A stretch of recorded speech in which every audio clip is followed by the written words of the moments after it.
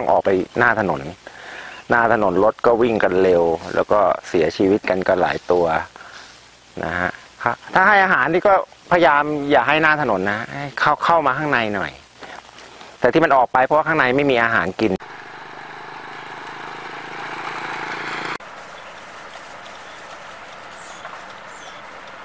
แล้วลิงนี่มันลงมาก่อกวนบ้างไหมมันก็มาเนี่ยมาเลาะนะอ่าคนมันอยู่บ้านอยู่บ้าน มันก็แตกเข้าไปตามบ้านก็ ไปตัวสองตัวก็ตามแต่มันจะไปกันแต่พอมันไม่มีอะไรกินเนี่ยมันเข้ามาขโมยของไหมคะไอ้ถ้าคนไม่อยู่เปิดประตูไว้มันก็เข้าบนลงบนเรือนหมดถ้าถ้าปิดประตูก็บนหลังคงหลังคาแต่เจ้าของอยู่ก็ต้องไล่ไปรถชนก็มีคนที่เขาขับมาก็เจอเขาก็จับโยน